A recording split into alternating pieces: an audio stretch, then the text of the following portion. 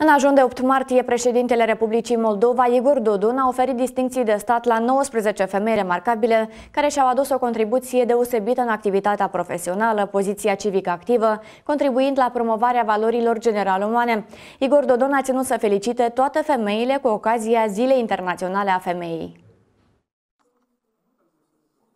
A devenit deja o tradiție ca președintele țării Igor Dodon să înmâneze distincții de stat reprezentantelor părții frumoase ale omenirii și societății noastre. În acest an, mai multe doamne, de la muncitoare la conducător de întreprindere, de la medic la cusătoreasă, activând în diverse raioane ale țării, au fost decorate cu titluri onorifice, iar pentru ca chipul să le fie mereu luminat, doamnele au primit în dar și flori. Ah, spasibo вам что я сегодня здесь, среди этих выдающихся женщин. Э, мы желаем процветания нашей стране во главе с вами. И я желаю всего-всего самого хорошего. С праздником, dорогие женщины! Alexandra Perova activează în calitate de vicedirector la o întreprindere mixtă. La cei 80 de ani ai săi, femeia s-a învrednicit de Ordinul Gloria Muncii. Doamna spune că niciodată nu s-a gândit că ar putea să primească o distincție atât de importantă. O să vă spun cu lacrimi. Sunt foarte fericită. Nu m-am așteptat ca să-mi rămână așa o distinție de valoare așa de mare domnul președinte. Să înțelege că sunt foarte fericită și este o martir de azi, o să fie în memoria mea și a copiilor mei, nepoților mei și a strănepoților mei.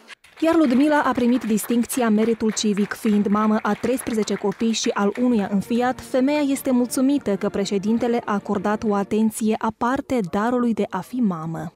Наряду с другими женщинами, которые внесли большой вклад в развитие разных областей, материнство тоже ставится на один уровень с ними, потому что это очень важно. Președintele țării a ținut să le mulțumească tuturor femeilor pentru grija și aportul pe care îl au în viața de zi cu zi. Mă bucur uh, astăzi, în persoana dumneavoastră, să felicit toate doamnele din Republica Moldova. Asta este partea cea mai mică care noi putem să o facem în recunoștință față de meritele dumneavoastră. Eu vreau să vă mulțumesc din suflet pentru că sunteți alături de noi. Distinsele doamne au ținut și ele să le aducă femeilor sincere felicitări cu ocazia zilei de 8 martie.